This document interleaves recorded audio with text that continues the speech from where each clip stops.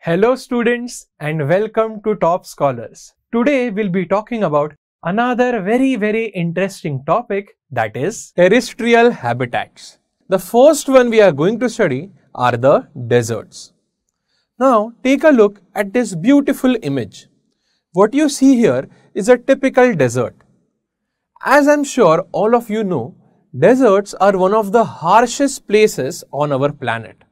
The temperatures can rise and become as high as 50 degrees Celsius during the day, whereas they can become very low, as low as 0 degrees Celsius at night.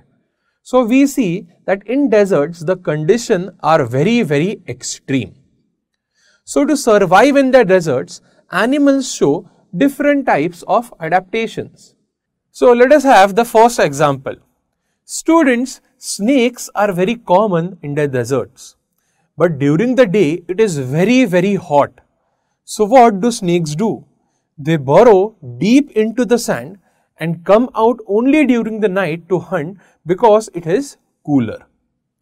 Also students, there are plants present in the desert.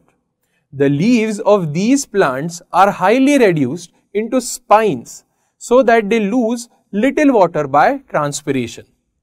Students, the spines have very low surface area.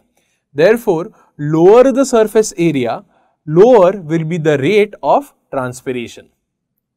Also, the stems of plants have a waxy coating and many of them store water.